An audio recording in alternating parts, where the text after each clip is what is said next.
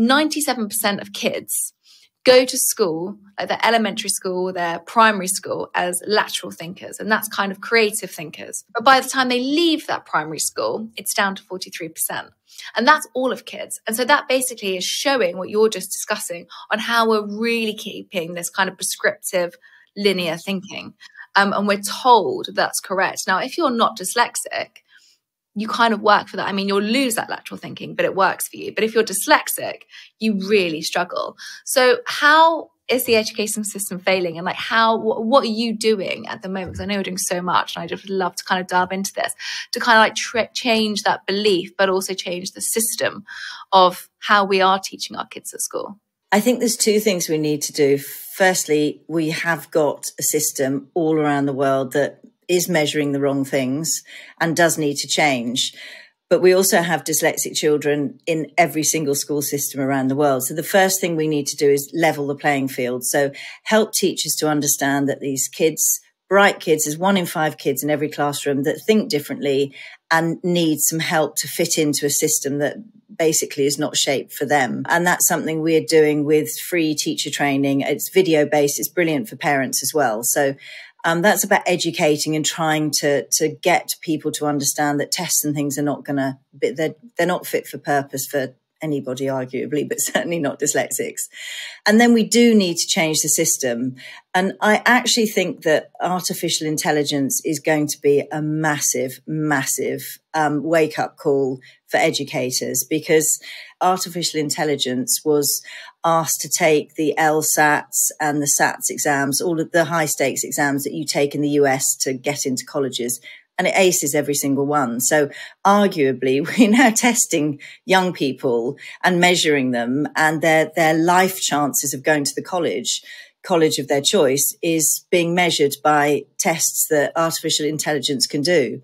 What needs to happen is we need to stop measuring children with these standardized tests because the world doesn't need standardized minds. It needs minds that think differently. So the whole way we view intelligence and the whole way that we test intelligence needs to change. And it's easier to change that in the workplace because if you have a job to fill, you know what talents you need to fill that job. So if we look at talent based hiring, that's quite easy to do.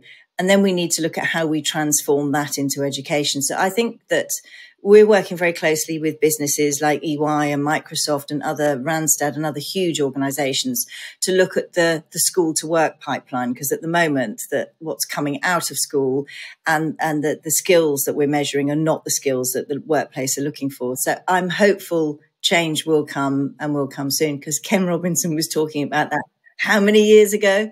But you know, there's a really, really sad story about that. When Ken Robinson, when Tony Blair's government came into power, Ken Robinson was brought in as an advisor to the Labour government and he was asked to consult on all the things that needed to happen to help create these amazing, innovative, creative minds. And he came up with all sorts of advice and guidelines, which basically almost everything got shelved. So, you know, I think he was before his time. I think the time for change is now. So let's hope in the UK when we get a new government, which we will, I probably will soon, or even if we get the same one back in again, who knows? But let's hope that they'll look at the future and really see we can't still keep educating kids with a completely antiquated system. But I think power is for teachers as well. Teachers don't like the testing system. And I think there's there, change is coming. There's definitely change coming. Well, I hope so. And I think, you know, when you just mentioned about the creativity and entrepreneurs, I think this also applies to anybody who is neurodivergent, right? It's people that have ADHD and are told they're super naughty at school and they're disruptive. So they actually just kind of give up learning. Or autism. There's so many different traits of how we are heavily stigmatized if we suffer with neurodivergency. And if kids do end up kind of getting through the schooling system. And sadly, like a lot of them don't.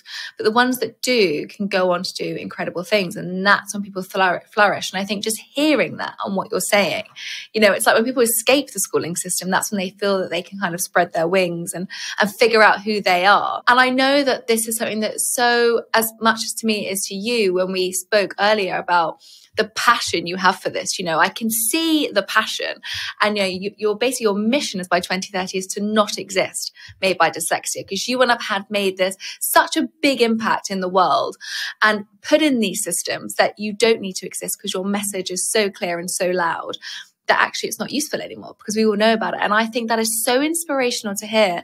But I can feel that comes from like a deep passion of you having to fight this kind of in the early years of having dyslexia. So I'd love for you to kind of tell me and our listeners your story because I think these moments of when people figure out they're dyslexic and they're heard and they're seen is quite pivotal for every dyslexic. Yeah, I think it definitely is. And it's definitely what what drives me. So I I started at a very um, strict traditional girls' school. Um, and it was it was a private school, and it was one of the schools that fed all of the top girls' schools, secondary schools. Um, and I was an unmitigated disaster at school. I'm not a particularly shy person. I'm not an extrovert. I'm an introvert, but I'm not particularly shy. But school made me feel like I just wanted to sit at the back of the class and not talk to anybody and avoid everything because I couldn't do what the other kids could do. So I, I, I really struggled. I struggled with maths was my biggest, biggest failing, but it was a constant. I mean, I, I was mad about animals, and my science teacher was also my maths teacher, and basically told me that I should give up or you know forget any idea of wanting to be a vet because I wasn't clever enough. So it was like every day I would go in there, and it would be a negative. And eventually, my mum and dad got called into the um, into the school's office and I was told that, or they were told that I wasn't going to pass any exams. So basically I needed to find somewhere else to go to school because it was a waste of time me being there. And I can remember my mum and dad just being just being so cross because they knew that I was perfectly bright. I just wasn't very good at exams and wasn't very good at school. I've got an older brother who is very dyslexic. Um, and he's also super successful. He started Virgin Mobile with Richard Branson, which is how I met Richard. But my mum and dad said, look, okay, we're just going to take Kate out and send her to the same school that, that my brother was at.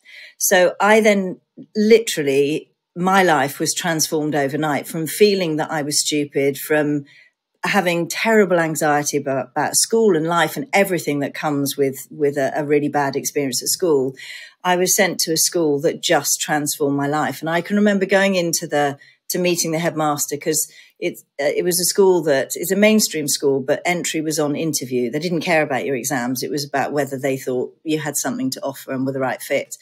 And i remember saying to the headmaster look, I'm I'm not very good at exams. I'm not very smart. I'm not going to be able to pass any of the tests that you give me. But I really like the school and I really wanted to come because it was just incredible. And he said to me, Well, we don't care about exams here. He said, We can teach you to read, we can teach you all the things that you need to learn, and we can even get you to pass the exams that you need to pass. He said, That's not what it's about. It's about what's your passion? What are you good at? What do you really love to do? And he said, Because that's what will make you successful in life. That's really what my education was from there on in. It was it was looking at different ways of thinking and different skills and different talents, and then getting the the support. So that that was life changing for me. And when I had my first son, it was really clear to me that he was dyslexic because he would, at age three, he knew the name of every single dinosaur um, he could tell you where they were a herbivore or a carnivore. Uh, he could tell you everything about them, but he could barely write his name. He had no interest in reading and he was super creative, loved music, really artistic. So I went into the school and sort of said, look, I know he's dyslexic. I'm pretty sure he's dyslexic. It runs really strong in my family. So can you just keep an eye on it and make sure that you test him when it's necessary? And they, they said, oh yeah, and of course we know all about dyslexia. Don't worry about it. We'll sort of see what happens. Um, but Ted, Ted went from being a really brilliant, creative, wonderful, outgoing little child um, to coming home from school one day and I was reading him a story and this will make me cry. So I apologize in advance, but I was reading him a story, his bedtime story. And he said to me, mummy, what can I do to not wake up in the morning? Sorry, because he said he said I hate school and I just don't want to go into school. I just want to stay asleep, which is just as a parent, that's just the worst thing you can ever hear a child say. So I went back into the school the following morning and said, "Look, Ted is dyslexic. I know he's dyslexic. Will you test him?" And they did test him eventually after I put up. I mean, they, we were being told that he's just not very bright. He's a little bit disruptive. He's a naughty kid. All the things you get labeled at. And then as soon as he was identified, he got the support he needed and, um, he he started to do better. We didn't stay at that school. Actually, we moved and sent him to um, my old school. And um, yeah, but that's where my journey started. I then I trained in dyslexia, uh, and that's really where my mission began because we could afford to take Ted out to send him to a school he wanted to go to. And most people can't. And it is, you know, it's still a case that 80% of dyslexic kids are leaving school unidentified. So it's just so important that we change this, this stigma and make sure kids are picked up. You know, Ted is flourishing. He's his love back when he was five years old was music and performing. And he now um, he writes he's an art recording artist and he's got a huge successful career writing stuff for music and film. So he's living his dream and his passion. And my other younger son who's also dyslexic we didn't pick up his dyslexia till he was a little bit older because um, he kind of was at a good school that did the got phonics and he got reading and everything but it's his difficulty is sort of processing speeds. Um, but with extra time, he is now, he passed all his exams. He was actually an A grade student.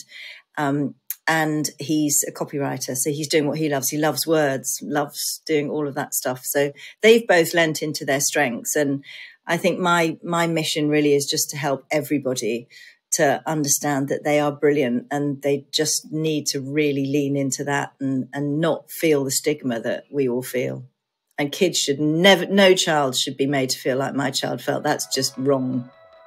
Thanks so much for listening. To hear the full episode, there's a link in the description.